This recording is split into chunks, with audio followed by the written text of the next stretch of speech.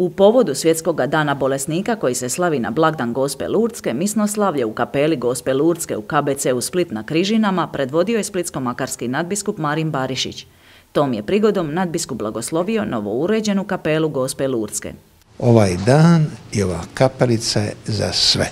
Kad kažem za sve u prvom redu, moram se opet ograditi, je za naše liječnike, za naše medicinske sestre, tehničko osoblje, uz rodbinu i bolesnike, jer vjerujem da ne samo bolesnicima, nego i liječnicima i sestrama treba i kako pomoći nadahnuća snage da mogu biti na razini svog poziva i poslanja, posebno u izvanrednim okolnostima COVID-19.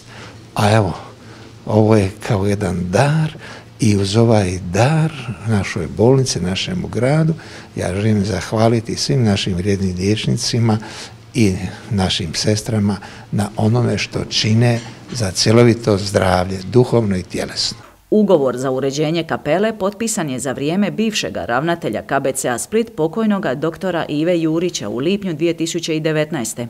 Njegovu ideju svesrdno je podržala i nova uprava bolnice. Pa ovo je jedan veliki dan za sve nas i ovo je zapravo ispunjenje jednog plana koje smo bili napravili prije nekoliko godina. Moram spomenuti mog e, prethodnika, ravnatelja, profesora Ivu Jurića, koji je dakle započeo ovaj projekt uređenja najprije kapelice na Firulama, pa sad i ovdje na Križinama i evo ovo je jedan veliki dan kad mogu reći da u ime njegovo, jer je to bila ideja koju je on započeo, koju je on provodio. Ja sam nastavio naravno sa svojim suradnicima i naravno da se osjećam da sam ispunio jedan njegov cilj i siguran sam da je Ivo sad s nama ovdje da bi bio sretan kao što smo i svi mi. Na ovaj način smo dobili ono što je trebalo nama, svima našim pacijentima, našim vjernicima koji zalaze u bolnicu, ne samo pacijentima nego i ostalima, tako da imaju objekt onakav kakav im je zaista potreban i da služi svim našim građanima. S pripremnim radovima krenulo se u veljači 2020, ali je korona usporila radove. Kazuje nam to Donante Mateljan, nekadašnji dugogodišnji duhovni asistent HKLDA Split, koji je također sudjelovao u ovome projektu. Ovaj prostor je trebalo najprije očistiti, trebalo je puno nekakvih infrastrukturnih stvari dovesti u red od instalacija do sanitarnih čvorova kako bi onda mogli krenuti u realizaciju same kapele financiranje kapele preuzeo je na sebe prvostolni kapitol koji je u potpunosti financirao uz nekoliko ljudi koji su donirali e, nešto od opreme koja je ovdje ugrađena i neke radove. E, sve e, što je ovdje rađeno izvelo je poduzeće Žing i sada zahvaljujem iskreno posebno Nikici i Željku Tokiću koji su sa svojim suradnicima zaista učinili najprije da u ovim okolnostima pandemije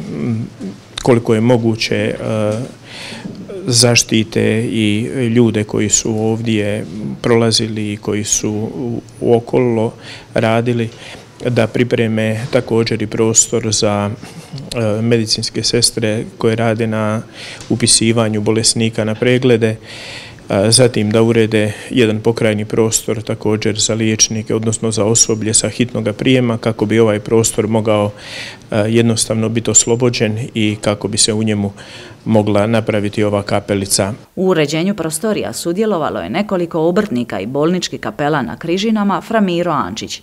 Svećenik je u bolnici još od domovinskog rata obavljao bogoslužje u neprikladnom prostoru na šestome katu, gdje su dvije bolničke sobe pretvorene u privremenu kapelicu.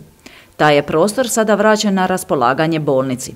Novo uređena kapela Gospe Lurske nalazi se na samom ulazu u bolnicu Križine. Pa zahvaljujemo svega srca svima koji se molili na tu nakanu, zahvaljujemo svega srca i svim onima koji su eto, u mislima bili s nama i Bogu hvala da ona tu da je u prizemlju jer bit će dostupna svima dok je bilo na šestom mekatu, bilo je malo nezgodno ići i bolestima i nemoćnima, a i nije se ni vidjela. A ovdje će biti dostupna svima i vjerujem da će biti, da će ljude radosna i vesela srca doći majci koja ih voli, da će blagosivati, da će davati duševnu i telesnu snagu, posebno naše za bolesnike i njihove obitelji, a posebno naše sestre i doktore i čistačici i časte, svi koji rade u ovoj bolnici, pa neka prati ih zagovor naše nebeske zaštnice, gospe Lursi. Prigodom blagoslova novouređene kapele svoju čestitku nadbiskupima i ravnatelju bolnice uputio predsjednik Hrvatskog katoličkog liječničkog društva dr. Rok Čivljak, koju je pročitao podpredsjednik HKLD-a